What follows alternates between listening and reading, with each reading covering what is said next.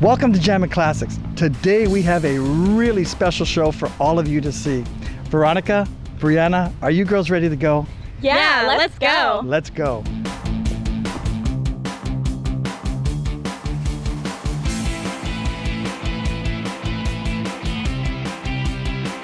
We're here in Albuquerque, New Mexico for their annual car show and balloon festival. Lots of great cars, lots of balloons. You're gonna see some flying pigs and some flying cows. So let's go check it out. Now first to give you a brief history, it was back in 1783 that two French brothers invented hot air ballooning, the world's oldest aviation sport.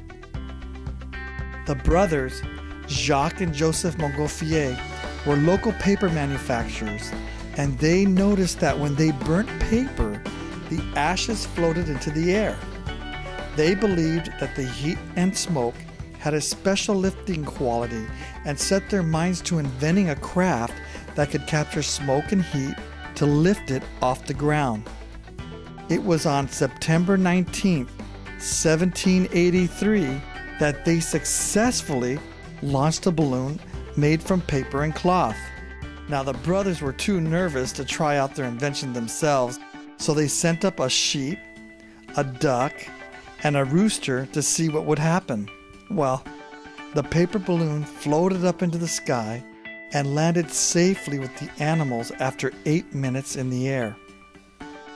Then, on November 21st, 1783, in Paris, with King Louis XVI present, the hot air balloon was again launched for all to see there in Paris.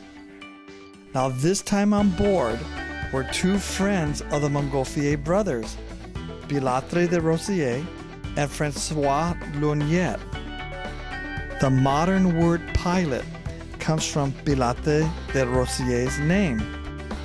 This balloon was successfully launched and rose 500 feet above the rooftops of Paris, and it landed a few miles away in some vineyards. As it landed, the local farmers raced towards the balloon, now with their pitchforks ready to attack this strange object from the sky. Now, to prevent the farmers from destroying the balloon, Pilatre and Francois offered them a bottle of champagne as thanks for allowing them to land in their field.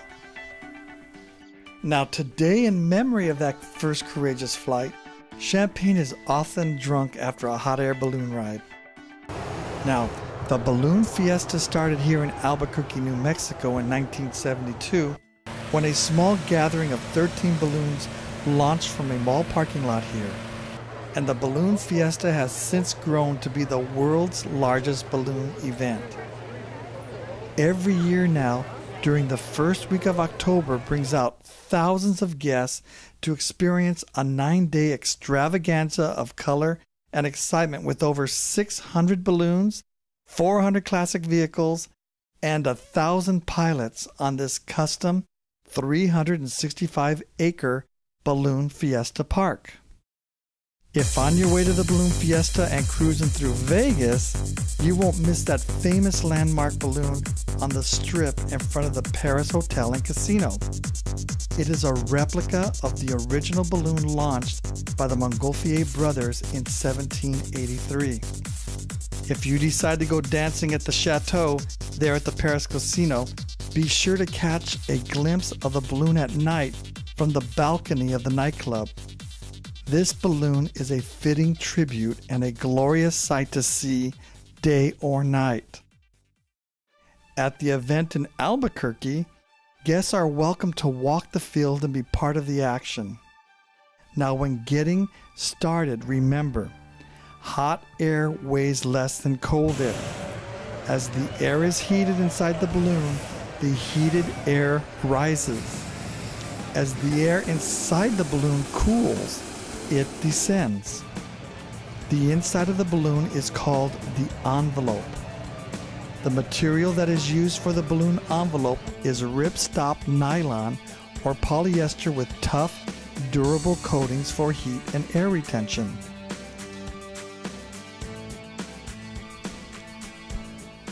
Many of the balloons here were made by Cameron Balloons. owned by Don Cameron in Bristol, England. They are the world's largest balloon maker. In the past 30 years, they have built over 6,000 balloons in all shapes and sizes and experiences everything when putting together a complex balloon, such as the Disney Castle and the Space Shuttle balloons. In 1999, it was a Cameron balloon first to fly around the world. Now, to inflate a balloon, an inflator fan fills it with cold air. The air is then heated with a burner. The burner is fueled by a 20 to 45 gallon propane tank that is carried on the floor of the basket called the gondola. The gondola is made of wicker that is strong and flexible. When the valves are opened on the propane tank, the propane vaporizes and is ignited by a pilot light in the burner. The flame may shoot out as much as 10 to 20 feet. The ideal time to fly a balloon is in the morning when the air is cool with lower winds, because the balloon travels the direction of the wind current. In 1997, the New Mexico Rainbow Roadrunners Car Club was formed, and in 2000 held the first annual Fiesta of Wheels car show here with over 300 classic cars. This annual event brings out hundreds of classic, vintage, and special interest vehicles from New Mexico and around the country. In 1793, President George Washington observed the first North American balloon flight. And in 1960, a record was set for the highest parachute jump from a balloon by Air Force Captain Joe Kittinger, who jumped from a balloon 102,800 feet and on the way down broke the sound barrier with his body. In 2005, Bob Berben and Benoit Siméons of Belgium traveled 2,112 miles from here in Albuquerque to Quebec Province in Canada, setting a new world distance record. Then, in 1979, another exciting event called the Balloon Glow was started here in Albuquerque when local pilots inflated their balloons on Christmas Eve to all of the residents here as a thank you. The evening glow balloons are breathtaking to watch as they appear as giant Christmas ornaments.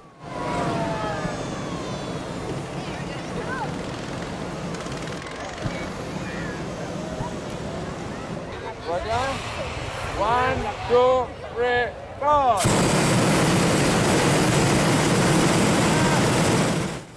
And in 1987, Albuquerque then launched the first and the world's largest balloon glow that is now one of Balloon Fiesta's most popular events. Let's watch and enjoy some of the wonderful moments here at this Balloon Fiesta.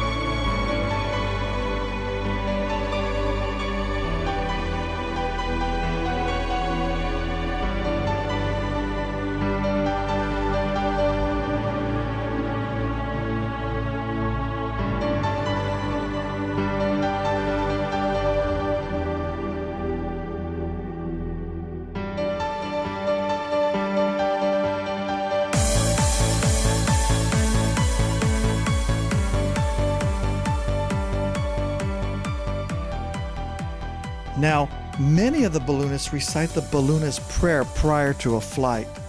This centuries old prayer has been recited by many of the balloonists, and they believe it has kept them safe on their journeys in the sky, as well as keeping them safe as they return back to Mother Earth.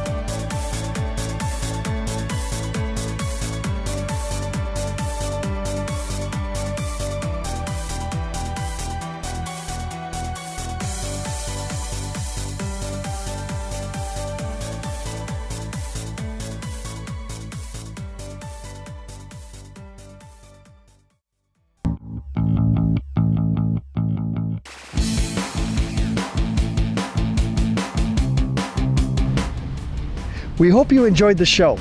Remember, if you need more information, go to jamminclassics.com and we will see you there.